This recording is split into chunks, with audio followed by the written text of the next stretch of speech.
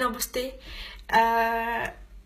अहिले चाहिँ होइन नेपालमा दसैँ आउनु लागेको छ अनि त्यसपछि गएर सबैजना नेपालीहरूले चाहिँ दसैँ राम्ररी मनाउनु होला सबैलाई मेरो शुभकामना छ तर मेरो एउटा कुरा के भने दसैँमा चाहिँ सबैजनाले चाहिँ होइन मासु खाने मासु खान्छ मान्छेको मानिसहरू सबैजना मिलेर चाहिँ होइन कुखुराहरूको अनि त्यसपछि गएर अनि भैँसीहरूको अनि त्यसपछि गएर खसीहरूको चाहिँ हत्या गर्नुहुन्छ होइन।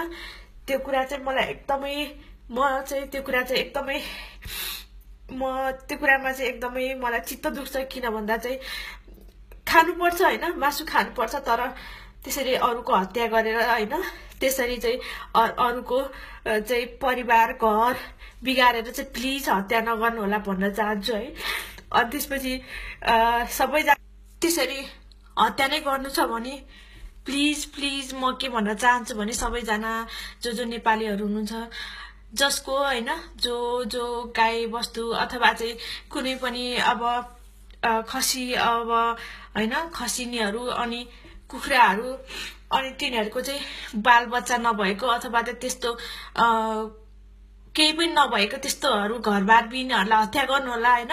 हत्या हत्या गरे पनि र तिनीहरू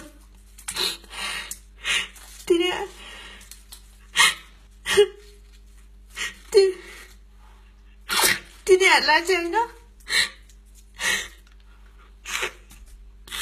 म म बोल्नै सकिनँ होइन?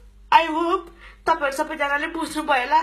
प्लिज हत्या गर्दाखेरि चाहिँ होइन आफूले कस्तो वस्तुको हत्या गर्दैछु त्यो कुरामा चाहिँ ध्यान दिने होला। धन्यवाद।